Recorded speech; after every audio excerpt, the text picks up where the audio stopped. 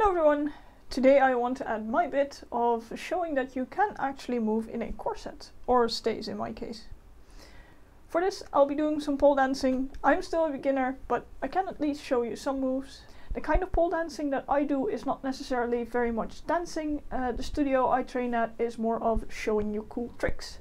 So that's what I'll be doing. Uh, my idea is to do some simple spinning and then slowly climb into the pole, do an invert.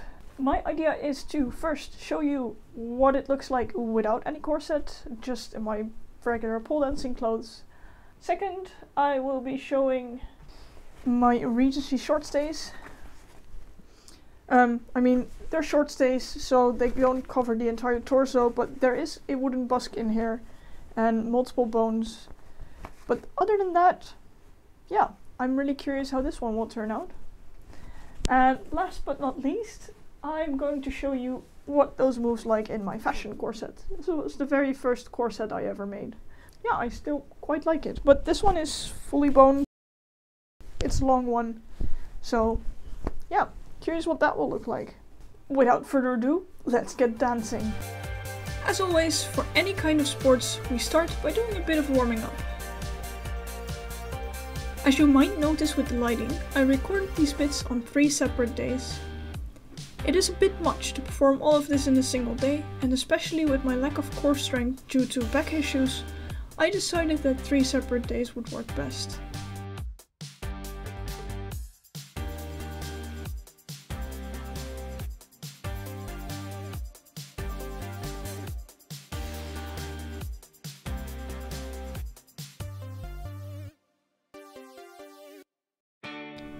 The idea is as follows. I'm going to start by doing some simple spins, mostly straight upper body.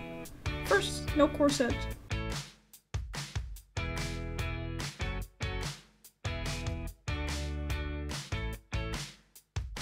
Then, with the fashion corset.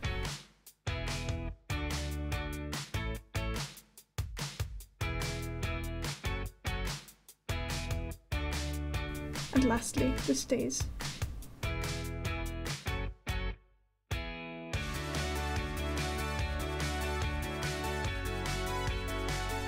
As you can see, no problems with this bit. Then, let's see how well we can fold up. Let's try a martini.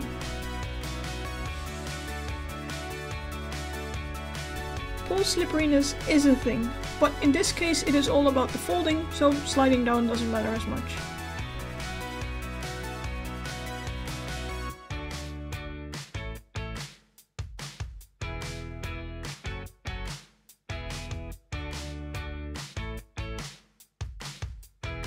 This is also going surprisingly well. It can be performed in all three ways.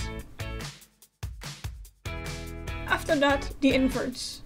I just learned the butterfly, so of course I'll have to show that one off. I'm going to do that in a helicopter butterfly combo.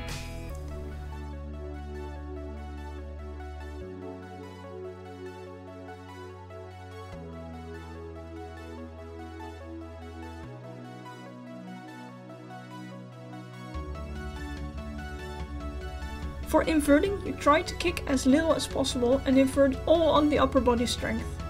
I'm still working on that, but it's already getting somewhere.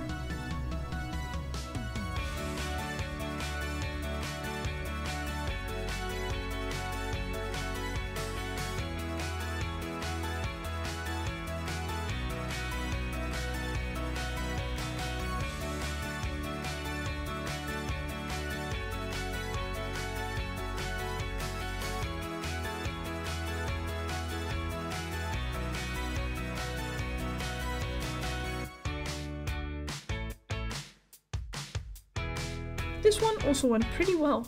Time to do a bit of goofing off.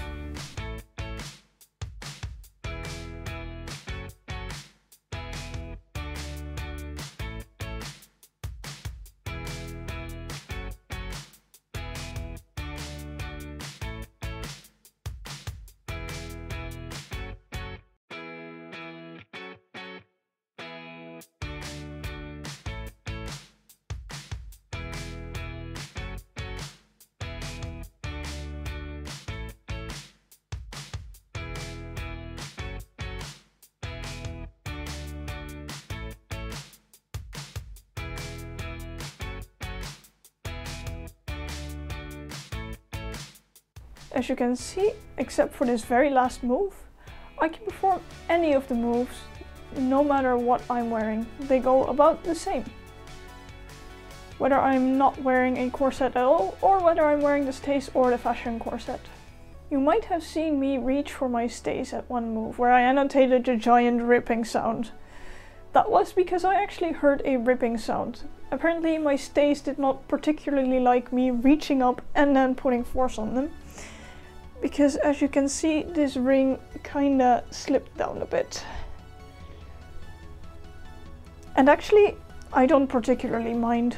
Um, these stays are for a LARP, so any repairs that I do on this only add more character. And this is something that's quite easy to repair. But back to the topic. I didn't die.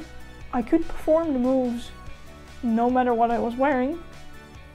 So I think this has actually been quite a success. That last move, the Drama Queen, I could not perform because for that you really want to hunch over with your full torso. And the stick that I used as a busk was poking too much in my ribs. That wasn't really comfortable, but other than that, I think especially with inverting, I actually enjoyed having my uh, fashion corset on. That one supports my entire torso and I have some issues with hyperflexibility in my hips which makes that my core is not as strong as it should be, which in my case causes back pain. But this fashion corset actually supported my core, which made some stuff like inverting actually go a bit easier because, well, I had some support already. Though still, it's not it's not my favorite way of doing a pole dance lesson. I mean, it's still really warm compared to, well, pretty much the bikini amount of clothing that I'm usually wearing. And for moves such as the outside leg hang that I showed at the end, it is beneficial to have skin that can rub against the pole to have more friction so that you can actually hang on the skin of your side. So can't really recommend pole dancing with full corset on but it is definitely doable and I'm honestly surprised how well I could bend in this. As you can see, the fashion corset also bent along a slight bit. I saw some bunching up fabric, so this actually bent along a bit. But yeah, I'm really happy with it. That was a lot of fun to record. It was definitely a lot of fun to do, and I'm quite surprised. I actually thought it would be slightly more difficult to do these moves in stays or corset, especially the stays with the busk poking in my ribs, but that turned out to not be a problem at all, except for that very last move. So I hope you enjoyed watching, I hope you're enjoying these bloopers that I will be editing under this. And if you like these kind of videos, do hang around and I hope to see you guys next time.